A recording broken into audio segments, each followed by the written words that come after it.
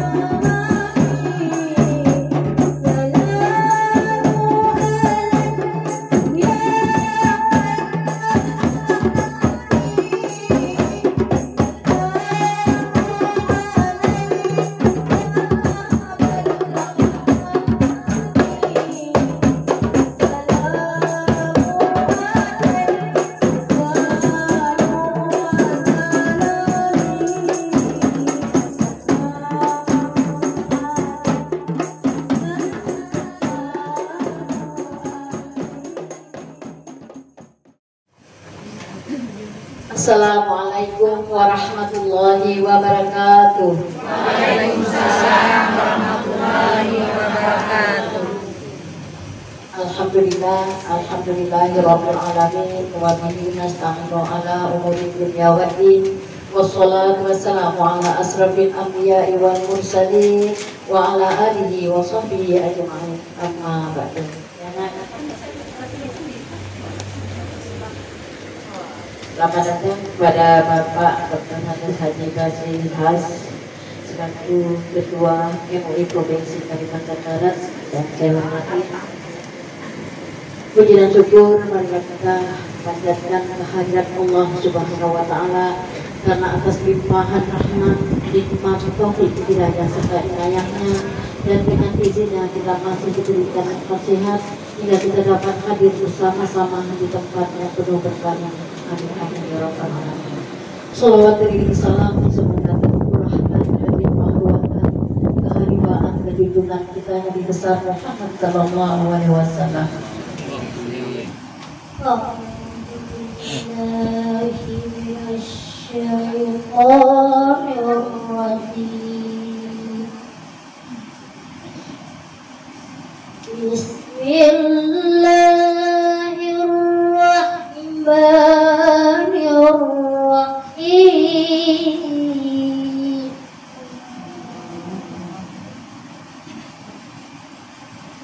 Yeah.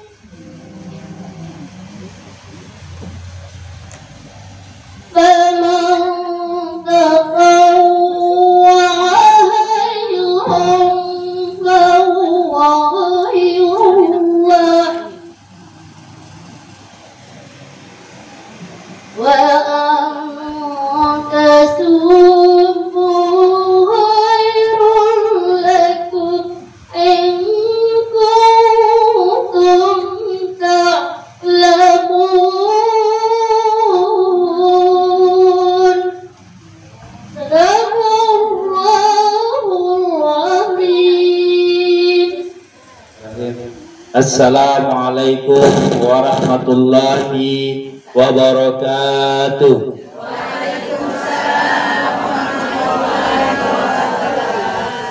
Alhamdulillah Rabbil Alamin Wassalatu wassalamu ala asrafil anbiya wal mursalin Sayyidina Muhammadin wa ala alihi wa ashabihi ajmain amma ba'd Dengan menyebut nama Allah yang maha pengasih lagi maha penyayang Insya Allah pada hari ini, siang hari ini Semoga para mualafan Mualafah mualafah ini menjadi penghuni surganya Allah orang-orang yang dicintai oleh Rasulullah.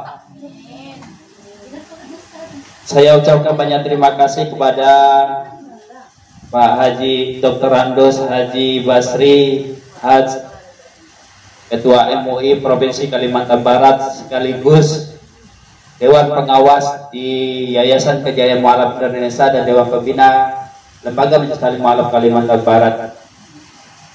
Beliau terpilih kedua kalinya menjadi MUI di Provinsi Kalimantan Barat. Alhamdulillah berapa bulan yang lalu uh, beliau terpilih kembali sebagai ketua MUI Provinsi Kalimantan Barat. Keduanya saya ucapkan banyak terima kasih kepada Pak RW, Pak Munziri ST yang mana selalu hadir dalam kegiatan-kegiatan mualaf di kediaman Pusat Pembinaan Mualaf dan Pengislaman ini dan eh, apa Rumah Quran Al Huriyun kedua. Terima kasih juga kepada PRT yang juga selalu hadir juga kepada Pak Mulyadi ya saya selalu menyebut dia itu Kid Andy yang ini nih ya. dia kalau dia pakai ko- kopiah jadi nggak kelihatan kalau nggak pakai kopiah kelihatan Kid Andy Oke. ada di TV dia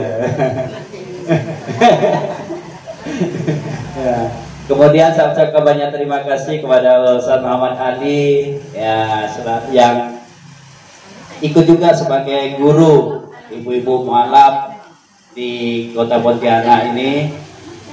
Bapak Ibu dirahmati oleh Allah Subhanahu taala, saya baru baru pulang. Jadi mohon maaf penyambutannya seperti ini karena saya dari Lombok, dari Lombok kemudian pulang satu hari di sini habis itu saya berangkat lagi ke Jawa Timur baru pulang tadi malam. Jadi kegiatan ini memang harus dilakukan. Kenapa? Karena uh, kita sudah menjelang bulan suci Ramadan dan insya Allah besok saya akan keliling ke beberapa, beberapa kabupaten. Mulai besok saya ke Singkawang dulu ke Singkawang membagi sembako ya untuk malam-malam di kota Singkawang. Jadi insya Allah kita mempersiapkan untuk mereka-mereka berbuka puasa dan sahur. Ya, kalau di kota Pontianak insya Allah gampang mendapat makanan.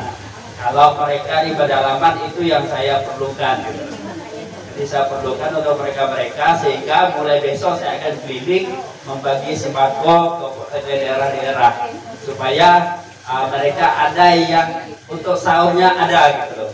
Untuk buka puasanya ada. Kalau kita ini pergi ke masjid aja pasti ada.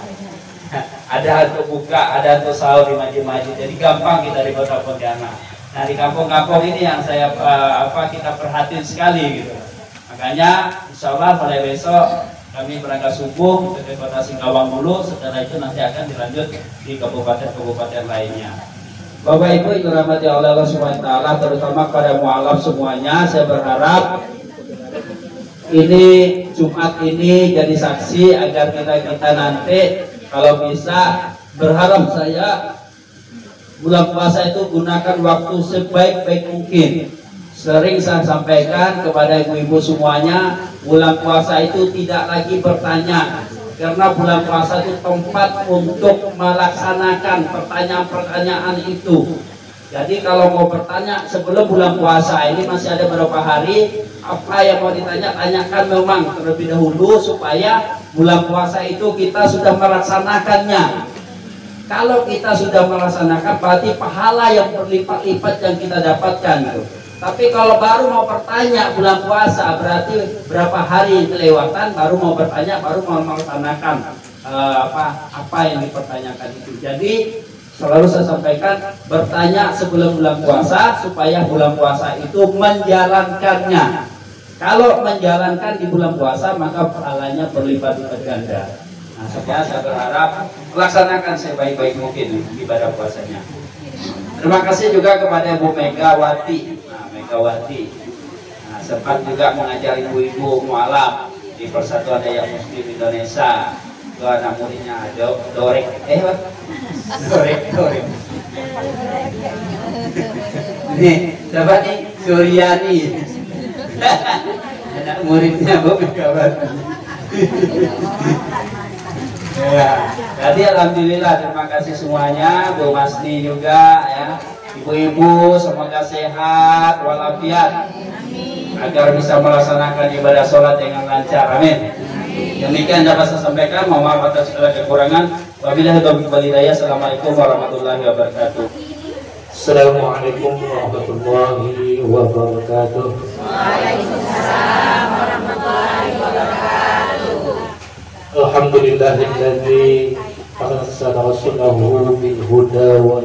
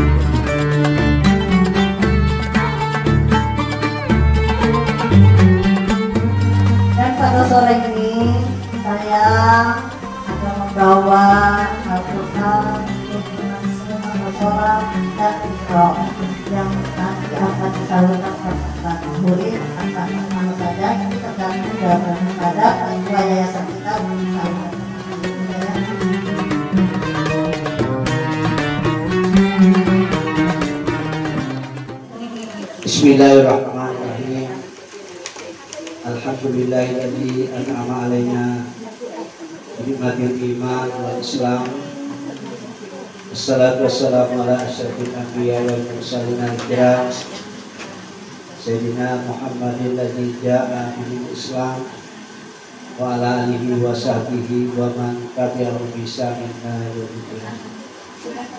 Rabbi shrah li Satri wa ati wa mutal wa hlul uqdatan min lisani yafqahu qawli. Tazakkurullah subhanahu wa ta'ala fil Quran Najib wa huwa billahi minasyaitonir rajim. Ya ayyuhallazina amanu kutiba alaikumus syiyam kama kutiba alal ladzina min qablikum la'allakum tattaqun. Badan Kontrak Ministakni Kota Pontianak yang saya hormati Ketua RW dan Ketua RT di Pangkal Bukit Laut. Misalnya kalau tadi RW berapa RT berapa. Yang hadir pada hari ini. Yang saya hormati Ustadz Muhammad ya. Selaku salah satu pembina Majelis Taklim Mu'alam Kalimantan Barat. Wabil khusus kepada ibu-ibu seluruh anggota pengajian atau Majelis Taklim Mu'alam Kalimantan Barat yang saya banggakan. Sebetulnya istilah memang Majelis Taklim Mu'alam artinya yang selalu digunakan dibutuh hatinya tapi kalau menurut saya ibu-ibu sudah mantap Islamnya insya Allah jadi ibu-ibu termasuk orang yang mendapatkan hidayah.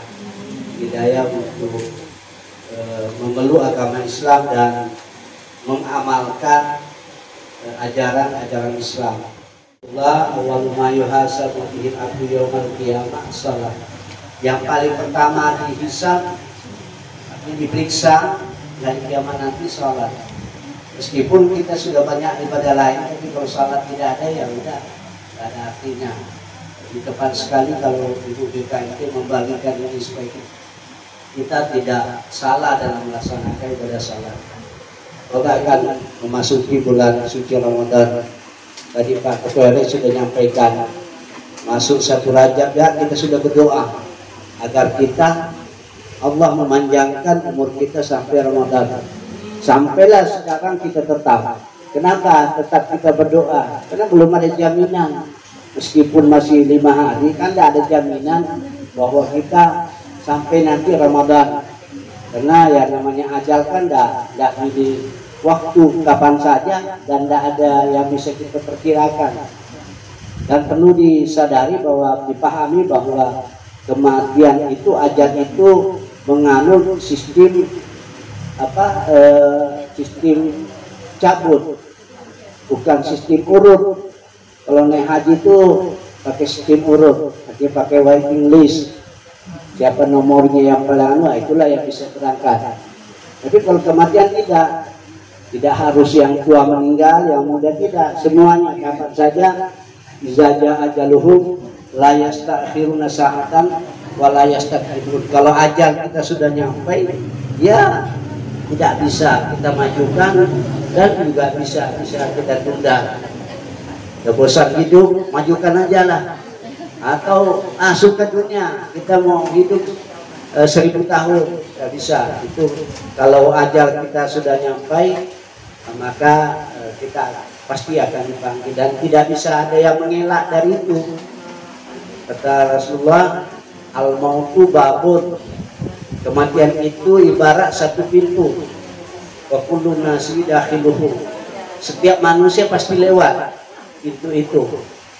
Ada nggak yang tidak mau mati? Tak ada kan? Tapi pasti. Cuma kadang-kadang kita takut mati. Kenapa takut ya? Karena masih banyak hal, banyak faktor. Tetapi yang pasti yang harus kita siapkan menghadapi, menghadapi kematian ya amal kita jadi itulah yang akan e, menemani kita sampai di akhir nanti kalau harta tidak harta paling kita punya mobil tapi mobil itulah ngantar kalau umpamanya ahli warisnya masih tega e, mobil kita dipakai mayat jenazah kita ke kuburan. Biasanya enggak dia pasti ambulan. Itu juga keluarga-keluarga kita semuanya pulang. Jadi ahluhu wa maluhu yang di ah, apa? Keluarganya hartanya semua pulang. Yang tinggal adalah amal. Nah inilah yang harus kita siapkan. Artinya amal kita. Nah, ini kita tinggal beberapa hari, mungkin tinggal lima hari barangkali. Yang mengikuti nanti eh, yang ditetapkan oleh Muhammadiyah tanggal 21 atau saya kurang ingat 20 Hah? bukan uh, anunya satu syawalnya April bulan April kan nah, sementara kalau pemerintah pemerintah kan tetap melakukan hisab eh, tetap melakukan rupiah melihat tapi kalaupun itu terjadi perbedaan tidak berarti bahwa kita harus saling menyalahkan. Karena memang dua teori ini dua cara ini itu dibenarkan. Ada cara ru'yatul hilal ada dengan cara uh, hisab artinya perhitungan. Yang penting kita tidak saling menyalahkan kita laksanakan sesuai yang kita ikuti. Kedua-duanya benar. Yang tidak benar yang tidak pernah puasa lalu ribu-ribu masa idul fitrinya banyak yang begitu nah, bapak ibu yang saya hormati jadi oleh karena itu kita tinggal mungkin Insya Allah lah mungkin apakah mungkin 23 uh, 23 Maret kita sudah mulai puasa. Oleh karena itu kita tentu perlu persiapan. Persiapan kita menghadapi Ramadan uh, ini ada satu kecenderungan, ada semacam pemahaman. Kalau datang Ramadan katanya uh, apa beban hidup kita naik itu, artinya kebutuhan kita naik sehingga ibu-ibu minta uang tambahan ini mau pak mau Ramadan nih tambah uang belanja katanya. Padahal enggak begitu. Hakikat puasa itu kan artinya uh, bulan pengendalian diri. Kalau di bulan lain kita kan makannya paling tidak kan tiga kali satu hari. Hah? Tiga kali satu hari kita sarapan pagi, kemudian siang makan, malam makan lagi. Tapi kalau puasa Ramadan itu kan ada dua kali, yaitu sahur dengan makan malam. Nah bukanya tak usah terlalu jadi beban, karena yang yang afdal kata Rasulullah berbuka itu dengan air putih dan kurma. Ya beli aja kurma. Dan kurma tuh ya tiga biji insya Allah tiga biji makan kurma kita minum insya Allah. Nah, makanya enggak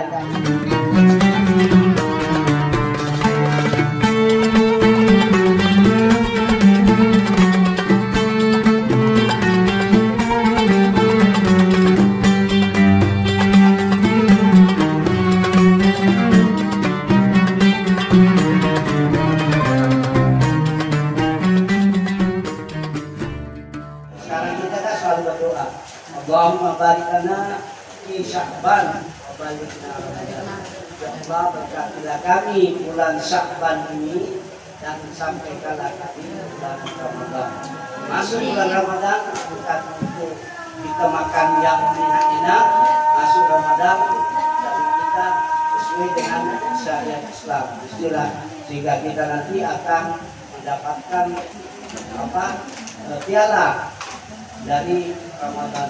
Sesungguhnya ibadah yang di, di, di, apa didoakan Allah itu puasa. Ya ladina amanu kutiba alaikum syiyam kama kutiba alaikum la'allakum tattaqun. Mudah-mudahan kami hidup raya bertakwa. Ibadah ada begitu. Tapi puasa Allah mengharapkan kita menjadi orang bertakwa. Karena predikat yang tertinggi itu adalah takwa. Mau masuk surga tiketnya harus dengan takwa. Ya, apa pun dengan takwa. Ya, jadi mudah-mudahan Ramadan ini kita memperoleh hadiah yang berupa takwa itu. Kira demikian, banyak yang kurang.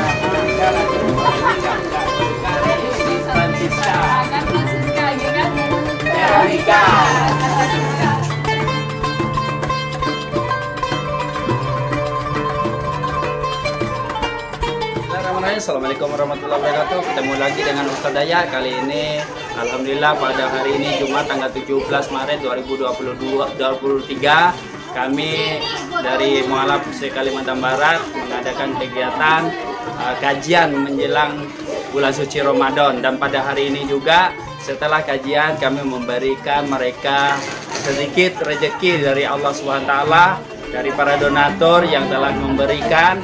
Kemudian kami beri kami beri belikan beras dan segalanya untuk kegiatan pada hari ini. Terima kasih. Mohon maaf atas segala kekurangannya. Insya Allah besok kami akan menyalurkan bantuan kepada mualaf kota Singkawang Allah kita akan berangkat pagi bersama-sama semuanya. Terima kasih. Wabillahi taufiq Assalamualaikum warahmatullahi wabarakatuh.